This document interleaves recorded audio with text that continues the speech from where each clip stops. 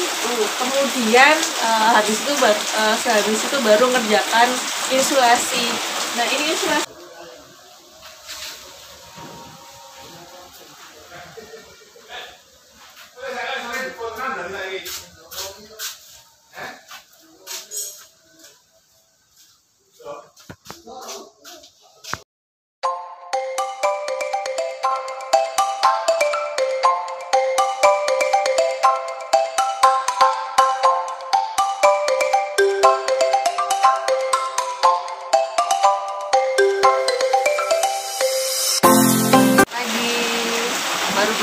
tidur sudah disambut hujan pagi ini.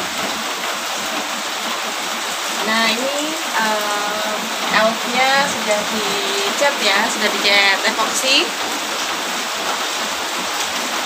Epoksi primer udah uh, dua kali. Uh, epoksi primernya kan warnanya abu-abu. Kalau epoksi fillernya warnanya putih tapi karena si filmnya itu eh, tinggal sedikit ya karena kemarin salah jadi warnanya jadi seperti ini warnanya. Mau langsung dicat sama putih supaya aman dari karat seperti itu kemudian uh, habis itu uh, sehabis itu baru ngerjakan insulasi. Nah ini insulasinya sebetulnya min, uh, minatnya itu antara jerami karena jerami sebetulnya itu kan menurut berbagai penelitian itu uh, punya potensi untuk uh, anti suara sama uh, ini ya uh, dan peredam uh, untuk untuk menstabilkan suhu juga. Di zaman dulu juga di kita kan juga atapnya atap jerami itu juga sering dipakai. Ya nah ini mau mengadaptasi itu dari bahan-bahan alami ya seperti seperti ini seperti jerami kemudian um, pit sabut kelapa itu sama tapo itu kan ya yang alami-alami itu dari bahan alam tempat saya uh, agak agak desa jadi sebetulnya ini melimpah nah cuma gimana caranya gitu? Apakah cuma di ini kan kan harus rapat ya harus rapat sekaligus berongga. Cara praktisnya sebetulnya pakai glass wool. Glass wool. Tapi sebetulnya di daerah saya nggak ada glass wool. Jadi sebetulnya pengennya pakai yang yang alami dari yang lokal. Jadinya pakai glass wool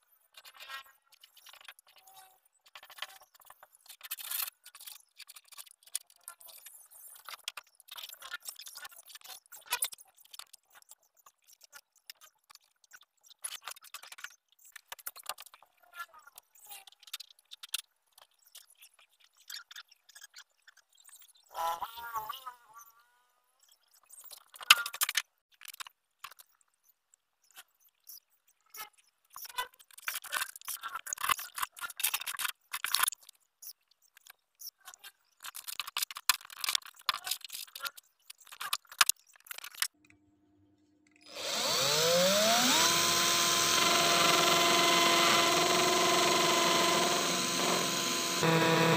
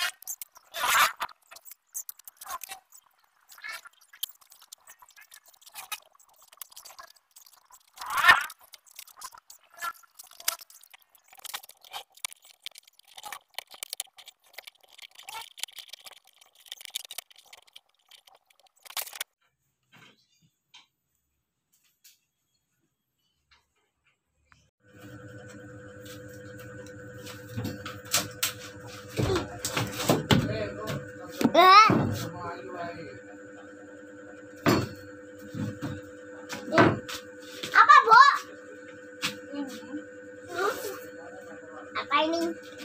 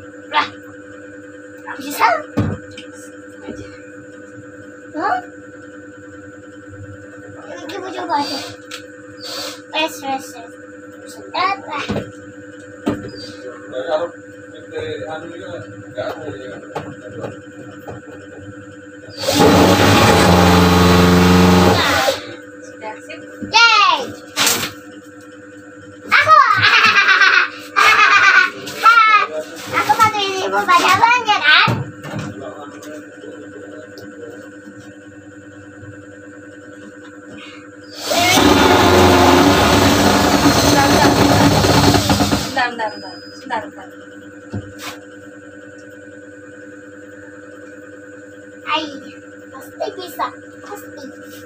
Chào bạn, chào.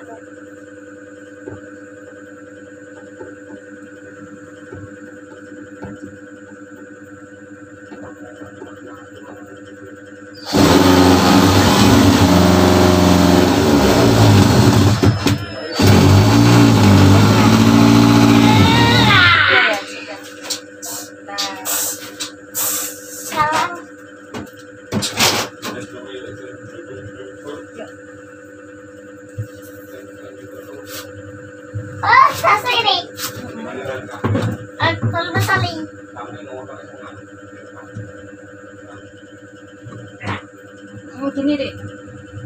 Bu aja.